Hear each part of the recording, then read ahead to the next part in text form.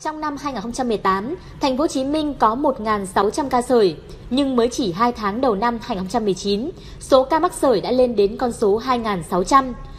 Nguyên nhân vẫn nằm ở tiêm chủng không đầy đủ, cả người lớn và trẻ nhỏ. Tại sao ấy 16 trở lên cũng mắc, bây giờ mẹ nó cũng mắc, hai mấy ba mấy. Mà con ấy thì nãy mình vào trong kia là có cái loại dưới 9 tháng.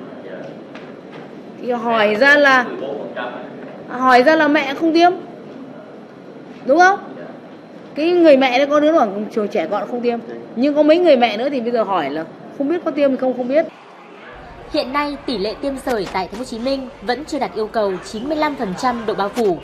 Ngay cả chiến dịch bổ sung tiêm vaccine sởi rubella cho khoảng 300.000 trẻ cũng chỉ đạt mức 85%. Trong đó, có hiện tượng phụ huynh từ chối không cho trẻ tiêm trong trường học. Được kiểm soát tốt nhất là ở trường học không cạnh đâu hết.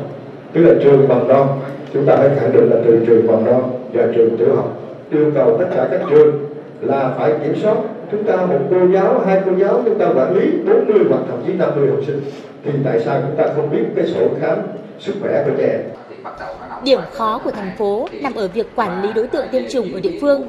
Do đó, ngành y tế sẽ nghiên cứu để tiến hành tiêm vaccine ngay ở các bệnh viện, nơi trẻ đến khám chữa bệnh. Trẻ nào chưa tiêm sẽ được chỉ định tiêm trước khi xuất viện, đồng thời khuyến cáo tiêm ngừa cho tất cả các thai phụ. Thế thì đấy là cái mà lỗi là vẫn không tiêm. Thế nên cái chiến dịch là 1 đến 5 tuổi là đúng. Nhưng sau này khi điều kiện kinh tế anh anh thua, cái này vaccine của mình tốt, thì phụ nữ tiêm luôn EMA vừa phòng rubella vừa đấy tuổi sinh đẻ.